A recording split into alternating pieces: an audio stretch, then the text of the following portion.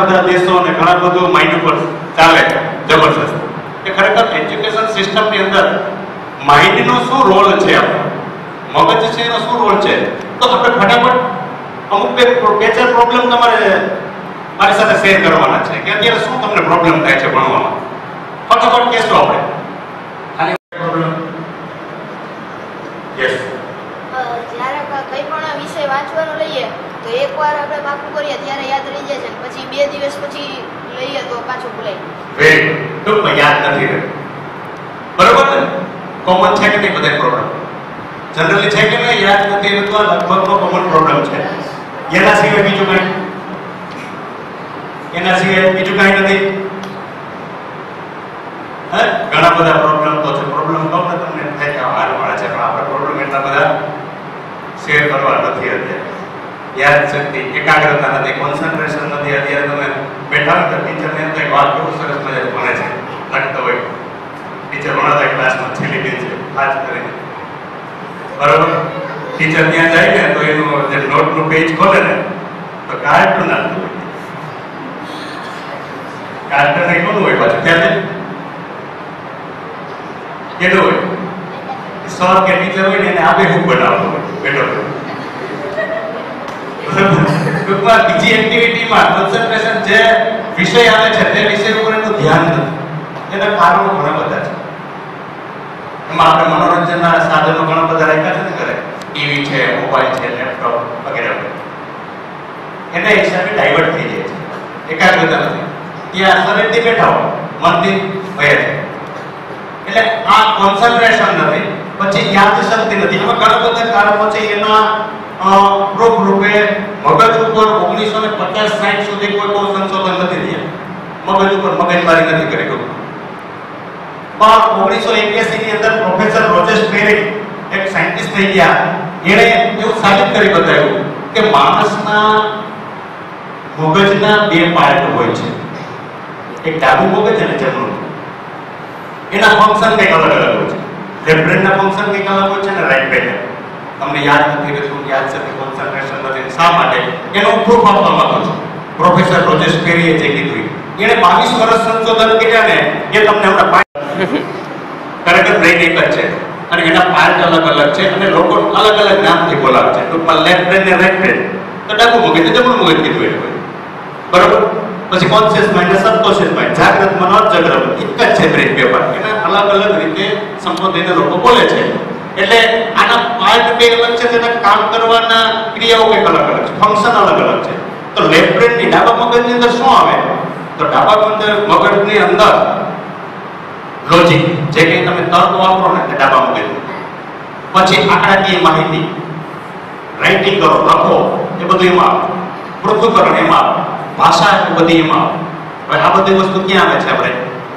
આખો દિવસ ભણવા. હવે બધું ડાબા મગજમાં આવે છે.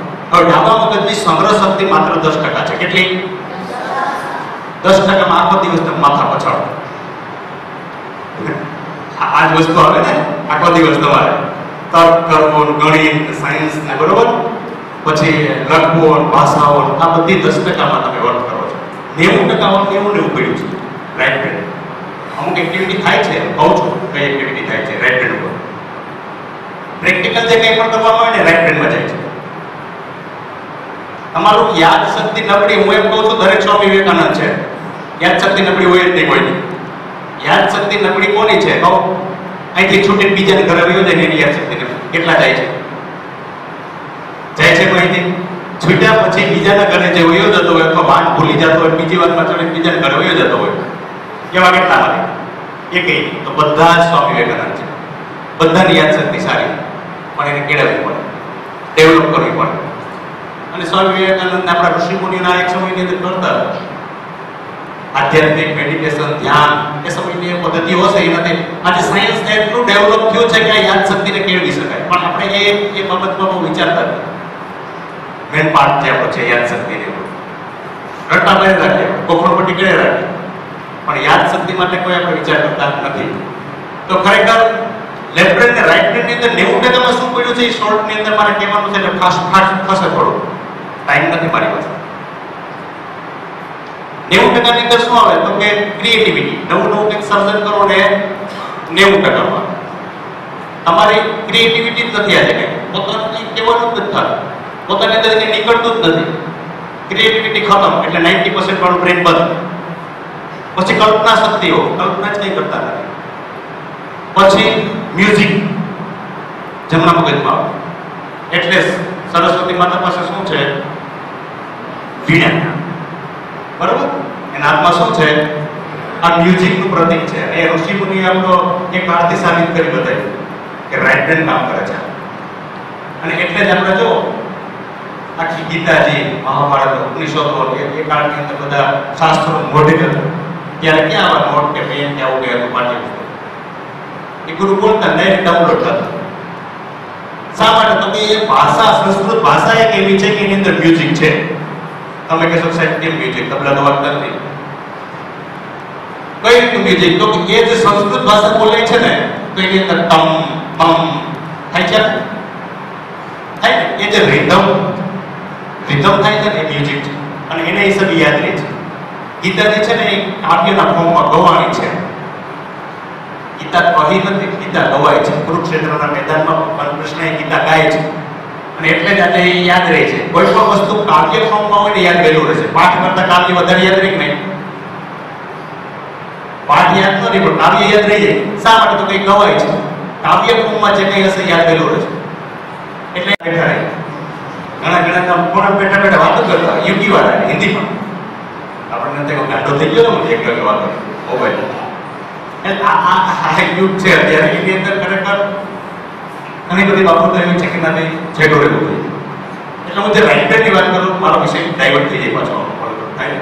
છોડી દઈએ રાઇટ બ્રેન છે ને, એની અંદર મ્યુઝિક પછી આવે છે પિક્ચર મૂવી આ વસ્તુ છે ને રાઈટ બ્રેનની અંદર. તમે કોઈ પણ મૂવી જોવો ને, તો પાંચ, સાત આઠ વર્ષ થઈ જાય યાદ હોય. હોય કે ના બાહુબલી જોઈ હજી યાદ છે પાછું કદાચ નહીં જોયું. બરોબર? બીજું એક એક્ઝામ્પલ હું તમને ફટાફટ આપવાનું છે તમારે. એના માટે પ્રૂફ થઈ જાય તમારા રાઇટ બ્રેનની અંદર મૂવી સ્ટોરેજ થાય. એક પિક્ચરનું નામ કહેવાનું છે ફટાફટ તમારે. ફટાફટ. બધાને ઉચ્ચારણ થઈ ગયું શા માટે? તો ખાલી બે જ ક્યુ એમાં. રાઇટ બ્રેનની અંદર ક્યુ એને કંઈ પાકું નથી ગયું છતાંય બધા આવી ગયા અત્યારે. એના હિરોઈન એની હિરોઈન છે, એના હીરો છે, એના પ્લેયરો છે. એમાં ઓલી ઇંગ્લેન્ડની જે સ્ત્રી હતી જે ટૂંકમાં આખા આપણા પ્લેયરો તૈયાર કર્યા હતા. પછી ઓલો અંગ્રેજ ને દાઢી વાળો ઓલો પંજાબી બોલર પછી એક ઓલો આમ કરીને બોલિંગ કરતો. શું નામ એનું? હે? હે? આમ કરીને બોલિંગ કરતો પાછું. યાદ છે? કેટલા લગન જોયું યાદ છે? બોલિંગ કરવાનો હાથ છૂટો હોય. કચરો બોલો. અને કચરો યાદ છે? કચરો કે પાછું કહી તને પચાસ લેખો કચરો કચરો કચરો. છતાં એ કચરો નીકળ્યો અત્યારે. એના મગજમાં ભીડ્યો હતો? અહીંયા રાઈટ બ્રેનમાં ગયો તો કેટલા વર્ષ પહેલા ક્યારે પિક્ચર જોયું છે? પિક્ચર પાકું નથી કર્યું કચરાને પાકું નથી કર્યું પણ છતાં એ કચરો પડ્યો હતો. ખૂણા એટલે નીકળ્યો. એટલે રાઈટ બ્રેનની અંદર પિક્ચર મૂવી જાય એની સાબિતી કરે કે ભાઈ નેવું ટકામાં જાય સ્ટોરેજ થાય છે. એટલે ગમે ત્યારે આઉટપુટ નીકળે. જ્યારે આ સાંજે વાંચીએ એટલે પરીક્ષા બેઠા સવારે નીકળતું નથી એ જ પ્રશ્નનો જવાબ તમે આખો વાંચ્યો હોય તમને યાદ આવ્યો હોય સવારે લખવા બેસીને એક્ઝામમાં નીકળતું કોઈક શરૂઆત કરાવે તો થઈ જાય. જરાક કોક લખાવે. બરોબર? એટલે આ હકીકત છે. એટલે હવે હું જે વાત કરવા આવ્યો છું લેફ્ટ બ્રેન અને રાઈટ બ્રેનની વચ્ચે એક મિડ હોય છે. આ મિડ બ્રેન એક્ટિવેશન થવાથી શું થાય છે? તો કે સુસુપ્ત શક્તિઓ જે તમારી અંદર પડી છે. એ જબરજસ્ત ખીલે છે. આજે China, Taiwan, Malaysia, Singapore, Japan, આ લોકો છે ને પહેલા ધોરણથી બાળકને મિડ બ્રેન એક્ટિવેશન કરાવે કે જેનાથી બંને બ્રેનને એક્ટિવેશન થઈ. અને એના બંને બ્રેનના બેલેન્સ થવાથી યાદશક્તિ, એકાગ્રતા પાવર જોરદાર વધે છે. કોન્ફિડન્સ પાવર અને બીજા ચમત્કાર જેવા કેટલી બાબતો કરવા માટે આપણે ચમત્કાર નથી કહેતા, પણ એની અંદર ટાઈલેન્ટ પડ્યું હોય, એ નીકળે છે. તો કે શું? તો કે આંખ બંધ કરીને તમે જે કંઈ પણ આપશો ને ઓળખી બતાવશે. છે સત્ય? ખુલ્લી આંખે તમે જે કરતા હોય બંધ આંખે કરો. વાંચવું, લખવું, પેઇન્ટિંગ કરવું, સાયકલિંગ પેન્ટિંગ સ્કેટિંગ, બધું કરો. થાય એવું? છે સત્ય? નથી સત્ય. કારણ કે તમે જોયું નથી. કદાચ આપણે યોગા ડે તો ત્યારે કોઈ હતા? જોયું તેને ત્યારે એક સાયકલ ચલાવતો સ્ટુડન્ટ આપણો જતો અહીંથી. એને ડેમો બતાવ્યો. પણ અત્યારે આપણી વચ્ચે આ સ્કૂલની અંદર મારી પાસે ચાર સ્ટુડન્ટ તૈયાર થયા છે કે એના બાંધી તમે જે કંઈ પણ આપો તે વાંચે તપશે જે કંઈ પણ કહેશે કરી બતાવો પ્રેક્ટિકલ ડેમો જોવો છે આપણે? ફટાફટ ફટાફટ આપણે ડેમો જોઈએ. બે સ્ટુડન્ટ આપણી વચ્ચે છે. જયદેવ અને શિવો. તે આવીને આપણને ડેમો બતાવશે. ફટાફટ. સ્પીડ ચાલો.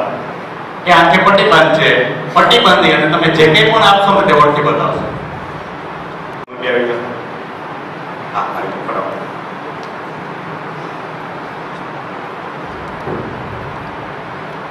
આમાંથી છે ને કાર્ડ પહેલા સામે બતાવો બધાને પછી એને કાર્ડ આપો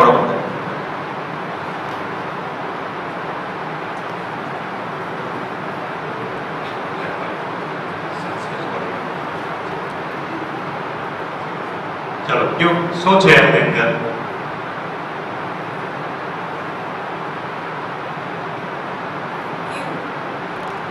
વેરી ગુડ શાબાશ. તાળીઓ થઈ જાય હે સ્વામી વિવેકાનંદ વેરી ગુડ શાબાશ જોયું? શિવ બાઈક લઈ હતા હા સરસ. બીજા કાર્ડ આપો બે. કોઈ પણ બે આપો. બી. વેરી ગુડ હા સામે બતાવો. હા શ્રી કૃષ્ણ સામે બતાવો. શ્રી કૃષ્ણ વેરી ગુડ શાબાશ. હવે જયદેવ આ બુક ને વાંચે છે. બરોબર? જયદેવ અમારે અઢારમું પેજ વાંચ અઢારમું પેજ ના રીતના ખોલીને વાંચ. અઢારમું પેજ કાઢી લેશે અને એની રીતે વાંચશે એ બુક ક્યારે ન વાંચેલી હોય એવી બુક હોય. તમને આજનો ન્યૂઝપેપર આપી દે તો પણ વાંચવા આ બધું અશક્ય છે. ચમત્કાર કે જાદુ નથી તમે બધા કરી શકો. અને આના ફાયદા શું છે એ પણ હું તમને કહેવાનું છું પાંચ મિનિટની અમારે. મુદ્દા ઉપરથી વાર્તા લખવા માટે નીચેની બાબતો ખાસ ધ્યાનમાં રાખવી જોઈએ. પેલું આપેલા મુદ્દાઓના માત્ર જોડાવવાના નથી. દરેક દરેક મુદ્દાનો કલ્પના કરીને મદદથી વિસ્તાર કરવો જોઈએ. ભગવાને આપણને પાંચ ઇન્દ્રિયો આપી છે કે જેના દ્વારા આપણા મગજને મેસેજ પહોંચે. બરોબર? આ પાંચ ઇન્દ્રિયોમાંથી કઈ કઈ એક બીજી કઈ? ના. ના. કાન નાક જીભ ને ટચ કરો. સ્કિન આના દ્વારા આપણા બ્રેનને મેસેજ પહોંચે. આ ટચ કરો એટલે મને ખ્યાલ આવે કે કાચ છે. બરોબર? ઠંડો છે, ગરમ છે જોવા માટે મારે સ્પર્શ કરવો પડે. જોઈ ખબર ન પડે. હાથ ઉપર રાખો એટલે ઠંડો છે, ગરમ છે, એ તરત મારા બ્રેનને ખ્યાલ આવી જાય કે કાચ ઠંડો છે કે ગરમ. એ એ આપણા બ્રેનને આ ઇન્દ્રિયો દ્વારા મેસેજ પહોંચે. ટ્રેન નીકળે તો આપણે જોઈને એવી રીતે નહીં દઈએ ટ્રેન જ છે, એટલે રિક્ષા નો કહીએ આપણે. આપણા બ્રેનને ખ્યાલ આવે છે કે આ છે આ વસ્તુ. બરોબર? એટલે એણે જે આંખ બંધ કરીને એટલે એની ચાર ઇન્દ્રિયો ડેવલપ કરી એના માટે બધું ખુલ્લું છે. ત્રીજું નેત્ર કહેવાય ને, શંકર ભગવાનની જે ત્રીજું નેત્ર, સેમ એ વસ્તુ છે. એક સમયમાં આપણા ઋષિ મુનિઓ કરતા હતા. મહાભારત તો એ જોયું હોય ને, તો એમાં સંજય ધૃતરાષ્ટ્રને લાઈવ કુરુક્ષેત્રના મેદાનમાં બતાવો, બધું. યુદ્ધ. ખ્યાલ છે ભાઈ હવે ક્યાં તમે આવો મહાભારત કે રામાયણ જોવો છો? જોવો છો? નથી જોતા. કારણ કે જોવું જોઈએ આ વસ્તુ. આપણી સંસ્કૃતિ ખ્યાલ આવશે. વેદ ઉપનિષદ આ જે સિરિયલ અમુક અમે દૂરદર્શનની અંદર છે ને પેલા આવું બધું ઉપનિષદ ગંગા ખરેખર જોઈ લેવું છે. યુટ્યુબમાં મફત મળે છે. ત્યારે ટાઈમ પડે તો બીજું કંઈ ના કરો વખત આવું પડજો, એકાદ એપિસોડ જોજો ત્યારે ઉપનિષદ ગંગાની અંદર આપણી સંસ્કૃતિ ખ્યાલ આવશે. ઉપનિષદોની અંદર અમુક બાબતો કે ખ્યાલ આવશે કે શું એજ્યુકેશન સિસ્ટમ શું હતું, શા માટે ભણવામાં આવતું એ બાબતો છે. એટલે આવી વસ્તુ અત્યારે લુપ્ત થઈ ગઈ છે. આપણે ખ્યાલ નથી. ઉપનિષદની અંદર શંકરાચાર્ય છે ને એના એક ગિરી કરીને જે વિદ્યાર્થી હતો કે શિષ્ય, એને આ દ્રષ્ટિથી એને શિક્ષણ આપ્યું. તોટકાચાર્યનું નામ આપ્યું છે. તોટકા છંદ મીંડો બોલવા એની પોતેની જ્ઞાન આપ્યું આંખ બંધ કરી. આ છે બધા ઉપનિષદો. સંજય ધૃતરાષ્ટ્રને પેટા પેટા બધું કહી દીધું. કુરુક્ષેત્રમાં મેદાનમાં શું ચાલે આ બધી શક્તિઓ છે અને માણસ કરી શકે. પણ એને યોગ્ય પ્લેટફોર્મ મળવું જોઈએ. યોગ્ય જગ્યા મળવી જોઈએ. તો થઈ અને સાયન્સ ડેવલપ થાય એટલે કોઈ પણ વસ્તુ ઈજી થઈ જાય એટલે આની અંદર સાયન્સ ભળ્યું તો ઈજી કરી દીધું સંશોધનની અંદર સાબિત થયું કે આમ કરો એટલે ઈજી થઈ જાય. એટલે સાવ ઈજી થઈ ગયું અને મિડબ્રેન એક્ટિવેટ થવાથી જબરદસ્ત ફાયદાઓ થાય છે. યાદશક્તિમાં એકાગ્રતામાં કોન્સન્ટ્રેશનમાં આત્મવિશ્વાસ કોન્ફિડન્સ આ એના જે વાલીઓ આવે છે ને ઓલરેડી આપણી સ્કૂલમાં ત્યાંથી ચાર સ્ટુડન્ટ તૈયાર છે. એના વાલીના રિવ્યુ લેજો ખરેખર બેનિફિટ શું છે? બરોબર? ઇંગ્લિશ મીડિયમમાં આવ્યા કરે છે, એના પેરેન્ટ્સ મને આ કીધું સર મેથ્સમાં બહુ કે માર્ક્સ ઓછા આવે છેલ્લા એક કેટલાક પેપરમાં માર્ક્સ સારા આવવા માંડ્યા છે. કારણ કે બંને બ્રેનના ફંક્શન કામ કરે છે. બરાબર? એક્ટિવ થાય એટલે બેલેન્સ થાય એટલે કામ કરવા માટે અને બીજી ગમતું હોય માટે તો એને કંઈક જન્મજાત બ્રેનની અંદર એવું છે. બીજું નથી ગમતું અને એકાંત જ ગમતું હોય. અને લોકો સાથે મળીને ગમતું હોય. અને કારણો શું છે? તો બ્રેનના ફંક્શન છે કે વધારે વાતો છોડો, જાઓ કે ટાઈમ નથી. વધારે શોર્ટ અંદર મારે પૂરું કરવાનું છે. એટલે આ આમ તો પાંચ મહિનાનો કોર્સ હોય છે અને અઠવાડિયે ત્રણ કલાક માટે આવવાનું હોય છે. યુનિવર્સલ એકેડેમી કરીને હું ચલાવું છું અહીંયા ન્યૂ લાઈફ હોસ્પિટલની સામે. છેલ્લા છ મહિના થઈ ગયા અને સારું બાળકોને રિઝલ્ટ મળ્યા છે. એટલે આ કોર્સ છે વેકેશન બેચની અંદર સ્પેશિયલ કરાવવામાં આવે છે. અને એક મહિનાની અંદર એકાત્રે ને એકાત્રે એને બોલાવવામાં આવે છે. અને આ કોર્સ આખો વેકેશન દરમિયાન પૂરો કરવામાં આવે છે. તો એની અંદર તમને એક આ મિડબ્રેન એક્ટિવેશન મળશે કે જેનાથી તમે આંખે બંધ કરીને બધું જોઈ શકશો બીજી વસ્તુ તો કે હેન્ડરાઇટિંગ સારું થઈ જશે તમારું.